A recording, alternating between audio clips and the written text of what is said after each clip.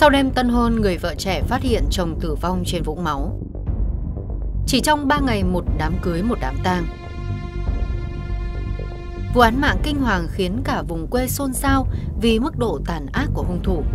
Công an vào cuộc điều tra và lần ra dấu vết hung thủ như thế nào. Án mạng sau đêm tân hôn Ngày 30 tháng 1 năm 2015, thôn Đống Am, xã Thủy Đường, rộn vang tiếng loa đài.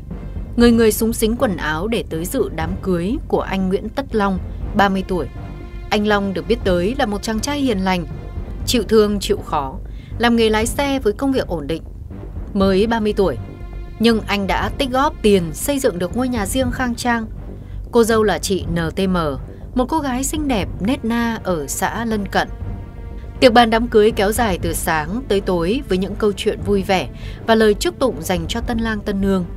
Tối cùng ngày, vợ chồng anh L đi ngủ sớm, khoảng gần 6 giờ sáng hôm sau, theo thông lệ của một nàng dâu mới về nhà chồng, chị Mơ để anh Long ngủ tiếp rồi một mình lặng lẽ xuống tầng 1 để dọn dẹp nhà cửa.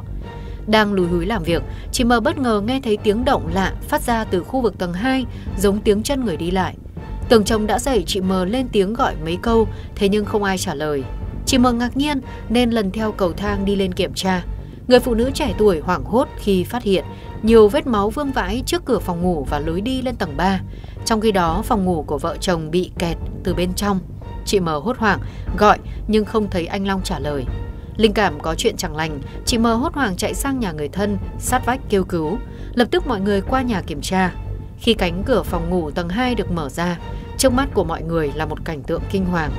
Anh Long nằm tử vong trên giường ngủ với vết cứa sâu tại vùng cổ, máu chảy lênh láng. Không kìm nén được cảm xúc đau đớn, chị M ngất lên ngất xuống và được người thân đưa đi cấp cứu. Nhiều dấu vết lạ tại hiện trường. Tiếp nhận tin báo, Công an huyện Thủy Nguyên cùng với nhiều phòng ban nghiệp vụ Công an thành phố Hải Phòng khẩn trương triển khai lực lượng để tiếp cận hiện trường. Trong nhiều giờ đồng hồ, công tác khám nghiệm hiện trường, khám nghiệm tử thi được lực lượng chức năng thực hiện hết sức tỉ mỉ, cẩn trọng nhằm không bỏ lọt bất cứ dấu vết nào dù là nhỏ nhất. Hiện trường vụ án là phòng tân hôn của vợ chồng anh Long, nạn nhân tử vong trong tình trạng nằm trên giường với vết thương sâu ở vùng cổ, dẫn tới mất máu cấp. Trong suốt ngày 31 tháng 1, các đơn vị nghiệp vụ của Công an Hải Phòng đã tiến hành khám nghiệm nạn nhân, khám nghiệm hiện trường một cách tỉ mỉ để phục vụ công tác điều tra. Anh Nguyễn Tất Long sau đó được bàn giao cho gia đình để mai táng. Chưa hết bàng hoàng, bố của anh Long tâm sự, không ngờ thảm án lại xảy ra đúng vào gia đình tôi. Chỉ trong vòng 3 ngày gia đình trải qua các cung bậc cảm xúc trái ngược nhau. Niềm vui đám cưới chưa dứt thì phải lo đám tang cho con. Một người thân trong gia đình tâm sự bà nội Long đang nằm viện đã được gia đình xin bác sĩ cho về dự đám cưới cháu trai.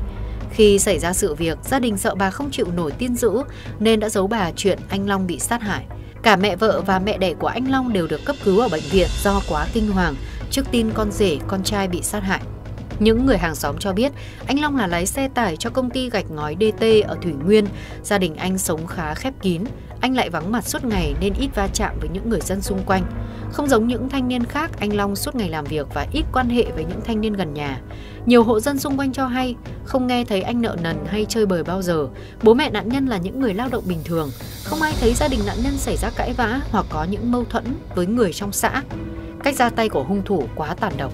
Sát hại chú rể ngay sau đêm tân hôn khiến cho nhiều giả thiết được đặt ra, phải chăng đây là vụ án mạng vì ân oán hay là một vụ sát hại người cướp của.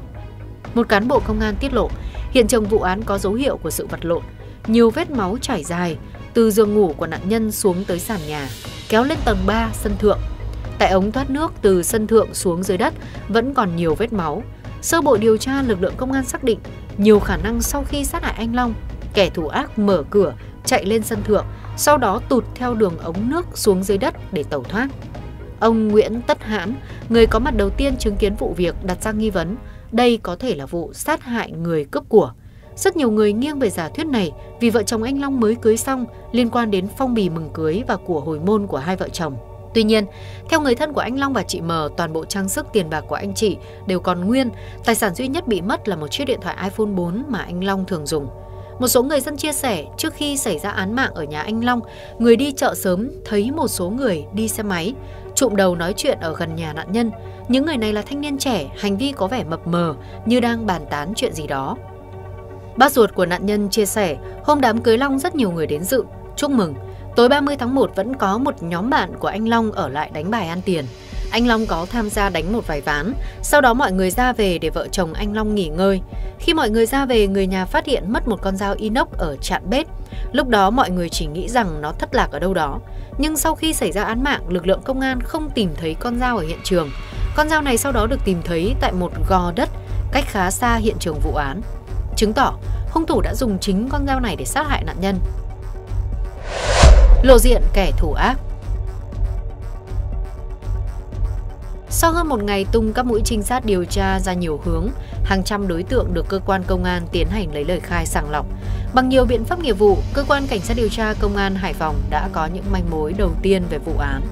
Cơ quan chức năng nhanh chóng ra lệnh bắt khẩn cấp đối với hai anh em trai Nguyễn Tất Phong, sinh năm 1984 và Nguyễn Tất Lưu, sinh năm 1986, cùng ở thôn Bắc 2, xã Thủy Đường, Thủy Nguyên. Ngày 1 tháng 2 năm 2015, cơ quan điều tra đã bắt được Nguyễn Tất Lưu, còn Nguyễn Tất Phong đã nhanh chân bỏ trốn khỏi địa phương. Tại cơ quan điều tra, qua lời khai của Lưu, cho thấy Nguyễn Tất Phong chính là hung thủ sát hại nạn nhân. Nguyễn Tất Phong vốn là người nghiện hút, có họ với anh Nguyễn Tất Long. Nguyễn Tất Phong không được mời dự đám cưới của anh Long. Theo đó, tối 30 tháng 1, Lưu cùng một số người đánh bài theo đêm. Khoảng 7 giờ sáng hôm sau, khi đang nằm ngủ tại nhà, Lưu nhận được điện thoại của anh trai. Phong nói vừa sát hại người, nhờ Lưu ra khu vực Nghĩa Trang Đống Am để đón. Nghe xong, Lưu đi xe máy biển kiểm soát 16K8 3913 của bố đẻ ra đón Phong. Khi gặp Phong, Lưu nhìn thấy trên quần áo của anh trai có nhiều vết máu, chân đi tất có dính bùn. Về đến nhà, Phong lấy trong túi quần ba điện thoại, trong đó có một chiếc iPhone 4S của anh Long ra để tắt nguồn.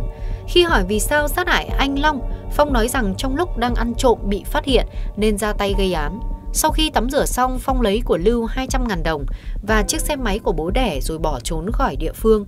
Lần theo chiếc điện thoại iPhone 4 bị mất, lực lượng công an tìm thấy người đang giữ điện thoại là Nguyễn Tất Lưu. Người này khai rằng chiếc điện thoại do anh trai là Nguyễn Tất Phong mang về. Chị Bùi Thị Thờ 30 tuổi, vợ của Lưu cho biết Lưu không gây ra vụ án mạng sát hại anh Long mà chỉ đi đón Phong về nhà. Theo lời chị Thờ tối 30 tháng 1, Lưu còn đưa vợ và con đi uống cà phê. Đến 21 giờ anh ta đưa vợ con về và gọi mấy người nữa đến nhà chơi. Nhưng sau đó Lưu và nhóm bạn lại qua nhà một người khác ở thôn Bắc Hai cùng xã, chơi đến 4 giờ sáng ngày 31 tháng 1 mới về đi ngủ. Đến 6 giờ sáng ngày 31 tháng 1, chị Thờ vẫn thấy anh Lưu ôm con ngủ. Ông Nguyễn Tất Quyết, bố của Lưu cho biết, nghe Lưu nói khoảng 7 giờ ngày 31 tháng 1, thằng Phong gọi điện bảo Lưu ra đón rồi Phong về nhà Lưu tắm, thay quần áo và đi dự đám cưới một người dân trên địa bàn. Nhưng đến trưa thì thằng Phong đi mất. Về chiếc điện thoại của nạn nhân mà Lưu mang trong người khi bị bắt, ông Quyết cho biết Phong có mang chiếc điện thoại đó về nhà Lưu. Sau khi tắm xong thì cầm nhầm điện thoại của Lưu đến đám cưới, nên Lưu đã cầm chiếc điện thoại này chờ anh trai về đổi lại. Chính nhờ sự che giấu của Lưu, kẻ ra tay sát hại anh Long đêm tân hôn đã trốn một hơi thật xa, khiến công tác điều tra truy xét của công an Hải Phòng gặp muôn vàn khó khăn. Trong suốt nhiều tháng trời sau khi vụ án xảy ra, công an Hải Phòng đã tích cực truy tìm, nhưng Phong kẻ trực tiếp ra tay sát hại anh Long vào dạng sáng 30 tháng 1 năm 2015 vẫn như bóng chim tăm cá. Đến tháng 7 năm 2015, Tòa án Nhân dân thành phố Hải Phòng đã đưa Lưu ra xét xử về hành vi che giấu tội phạm. Căn cứ vào hồ sơ vụ án, lời khai của các nhân chứng, hội đồng xét xử đã tuyên phạt Lưu 30 tháng tù giam. Về đối tượng Phong do hắn ta bỏ trốn, chưa xác định được địa điểm nên công an Hải Phòng đã quyết định tách vụ án. Khi nào bắt được đối tượng này sẽ xử lý sau. Tuy nhiên lưới trời lồng lộng một ngày không xa, kẻ sát hại người máu lạnh sẽ phải tra tay vào còng số 8 để đền tội, trả lại công lý cho người đã khuất.